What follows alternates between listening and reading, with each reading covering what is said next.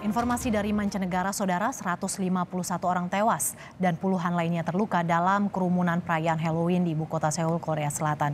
Sejauh ini, laporan dari Duta Besar Indonesia untuk Korea Selatan tidak ada WNI yang jadi korban tewas. Minggu pagi, Presiden Korea Selatan Yoon Suk Yeol mendatangi lokasi tragedi perayaan Halloween di distrik Itaewon, kota Seoul. Kejadian yang menewaskan ratusan orang ini menjadi bencana terburuk di Korea Selatan dalam beberapa tahun belakangan ini. Inilah yang terjadi pada Sabtu malam. Perayaan Halloween seketika berubah mencekam. Ratusan orang tewas saat perdesakan di jalan-jalan sempit di distrik Itaewon. Media berita lokal menyebut kerumunan mencapai ratusan ribu orang hingga menyumbat jalan-jalan. Diduga korban jiwa muncul karena terhimpit dan terinjak-injak dalam kerumunan. Pada hari yang biasa pun, hari yang bukan hari memperingati sesuatu itu ribuan orang yang datang. Dan hmm. menurut catatan, semalam pada saat peringatan Halloween, ada 300 ribu orang di sana.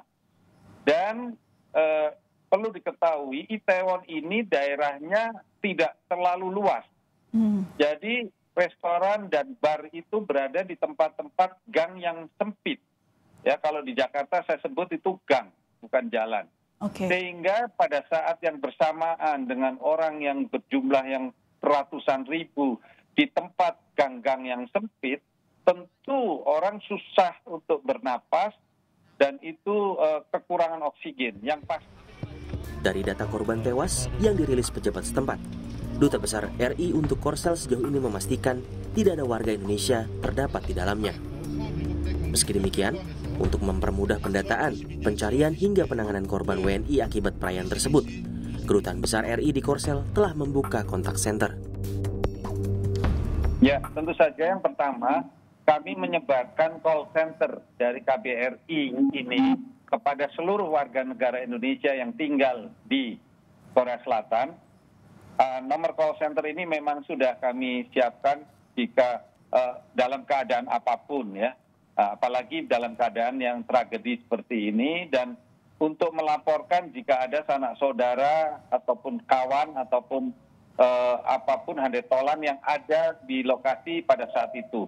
Mm-hmm. Dan sampai hari ini, sampai detik ini, call, laporan call center belum mencatat adanya hal tersebut jika nanti terjadi sesuatu, tentu saja tim kami akan mendatangi dan melakukan pertolongan ataupun melakukan hal eh, hal-hal dalam keadaan emergensi sesuai dengan uh, eh, SOP yang ada. Tumpah ruahnya warga yang memadati kawasan Itaewon bukan sekedar karena perayaan Halloween biasa. Antusiasme warga meninggi karena ini adalah Halloween perdana setelah tiga tahun terhalang pandemi COVID-19.